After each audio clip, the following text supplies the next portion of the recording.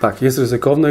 Pracując u jednego z producentów farb był to częsty problem, bo ktoś kupi białą farbę elewacyjną, no i zaczął barwić po prostu na, bo, bo, bo niby taniej się wydaje, na jakiś kolor elewacyjny i potem zostało to, wy, zostało to wymalowane, a minęła jakaś chwila czasu i słońce wypaliło ten pigment, tak? Farba się trzyma, wszystko jest cacy, ale pigment po prostu został wypalony przez, y, przez słońce. Dlatego, wyblaknięcie. Wyblaknięcia, kredowanie, powłoki i tak dalej, i tak dalej. To po prostu już się, już się zużyło. To też się może stać y, przy kolorach y, tych odpornych na UV, ale to już musimy naprawdę minąć długi czas.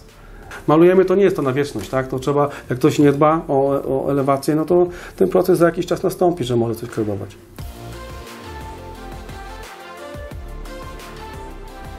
Różni producenci różnie sobie to oznaczają. Jedni ABCD, bazy, jedni 1, 2, 3, 4, 5 i tak dalej, i tak dalej.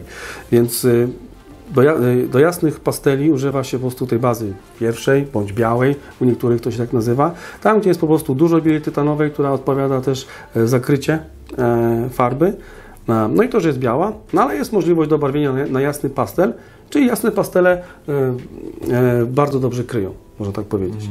Bo żeby zrobić ciemniejszy kolor, no to w kolejnych bazach tej bieli tytan- tytanowej jest mniej.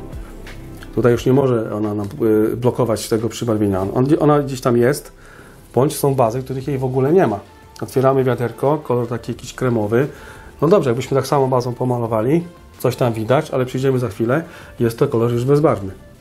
Bo tam po prostu jest miejsce na ten pigment ciemny i te pasty pigmentowe, które się używa, e, przyciemniają, e, mają możliwość przyciemnić tę e, tą bazę. Dzięki temu uzyskujemy ciemny kolor. Ale, że nie ma tam tej bieli tytanowej, gorzej kryją.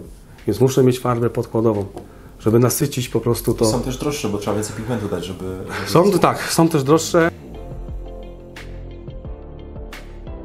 I trzeba też kupić, mówię, farbę dodatkowo podkładową, zabarwioną w danym kolorze, że jak nałożymy docelowy kolor, on będzie już ten stonowany, tak, ten, miało ten ton koloru, o który nam, e, o który nam chodzi. Kupując e, w hurtowni, gdzie jest system barwienia, to tam już cały system jest zaprojektowany. Jaką, jaki kolor, jaki, jaki podkład. Czyli systemowo. Systemowo lecimy, także tutaj nie ma, nie ma co. Natomiast zdarzyć się może tak, że ktoś nie, właśnie nie kupi z tego mieszalnika, tylko kupi sobie kolor e, gotowy, ten 2,5 litra puszka. Niech to będzie kolor dla wyobrażenia jakaś e, e, ciemna, dojrzała czereśnia. A mamy taką białą ścianę, prawda? I nagle okazuje się, że e, klient maluje e, jedną warstwę, drugą, denerwuje się, robi zdjęcia, wraca do e, miejsca, gdzie zakupił i mówi, że to nie jest ten kolor. Bo tu jest taki ciemny, a, tu, a mi, a mi wyszedł czerwony. Dlaczego? No bo nie ma podkładu. Tego podkładu, który mógłby to wyciągnąć to nasycenie. Stąd też zaleca się, że nie, takich ciemnych kolorów już barwionych ma się nie malować bezpośrednio na takie jasne podłoża, e, tylko przemalować to na kolor szary. Delikatnie szary, bo szary e, daje nam mm, tą, tą możliwość, że już mamy przyciemnione troszkę tło, dajemy potem ten nasz kolor, tą, tę, y, tą, tą czereśnię i już pod spodem nie przybija ten biały, tylko ten czarny pigment nam powoduje to, że ten kolor nasycenia uzyskujemy taki, jak powinniśmy mieć we wzorniku.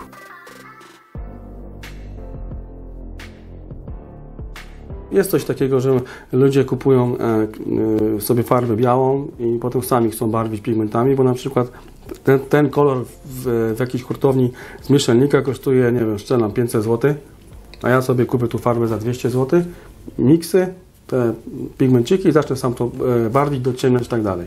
No tutaj trzeba, trzeba pamiętać o tym, że nie, jeżeli chcemy z takiej białej farby uzyskać ciemny kolor, no to nigdy go nie zrobimy.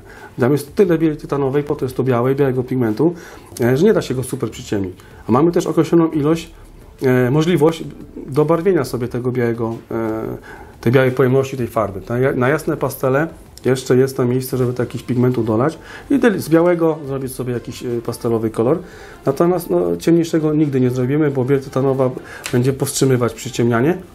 E, I po prostu kolor się w pewnym momencie zatrzyma. Możemy wlewać, wlewać, wlewać. Nagle z 10 litrów robi nam się już, nie wiem, 11 i tak dalej. E, Już się tyle uzbierało na wiaderku, że już za chwilę się wyleje. 100 zł na pigmenty już 100 zł poszło. na pigmenty już poszło, dokładnie jak nie więcej. E, czasu, tego typu rzeczy. Ktoś jeszcze wody dolewa, no to już w ogóle ma więcej tych litrów, nazwijmy. Objętość się zwiększa. No i potem zaczyna tym malować. No i niestety, no pigment e, powoduje to, że to jest po prostu przepigmentowane. Jak to wyschnie, no to po prostu brudzi się to jak byśmy dotykali po prostu jakąś kredę, jakby to było. Cześć Robert po raz kolejny.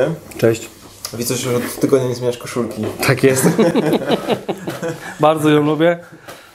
Ja też nie zmieniam koszulki. też ją bardzo lubię. A tak naprawdę to wiecie, nagrywamy to wszystko w jednym ciągu. Tak. Robert znalazł czas, trzeba go dobrze wykorzystać.